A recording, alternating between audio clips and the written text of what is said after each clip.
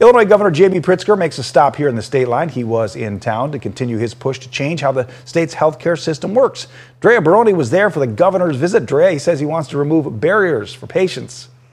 Yeah, Tom Governor Pritzker has been rallying support across Illinois hospitals for the Health Care Protection Act. He was over at OSF St. Anthony today talking about what this bill could mean for patients, doctors, and insurance companies.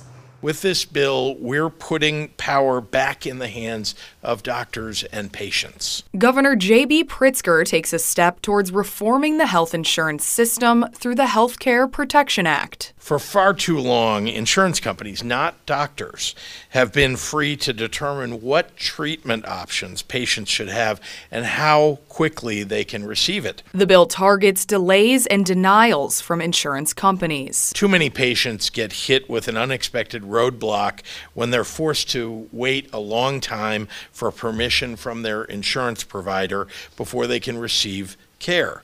It's an unhealthy and an unfair system. For both patients and doctors, like Lisa Davis, Chief Medical Officer at OSF. My colleagues here will say that they spend a large portion of their days not doing that direct hands-on patient care that they need to do, but fielding the, the landmines that they encounter with trying to do what's best for our patients. The HPA passed through the House last week with bipartisan support. If it gets through the Senate, Illinois would be the first state to ban prior authorization in a hospital setting for mental health care those who are in crisis should never be forced to navigate difficult insurance policies, especially in those moments of crisis. It also adds Illinois to a list of 12 states banning junk insurance plans, which offer temporary and often incomplete coverage. This bill will save lives and it will lower health care costs for millions of Illinoisans.